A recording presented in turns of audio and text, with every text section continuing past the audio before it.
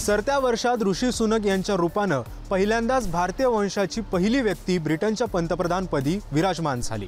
पंतप्रधान पदासाठी त्यांच्याच पक्षातील पेनी मॉर्डॉन्ट यांच्याशी तगडी स्पर्धा होती. पण सुनक यांना अपेक्षित बहुमत मिळतंय असं दिसताच मॉर्डॉन्ट यांनी माघार घेतली.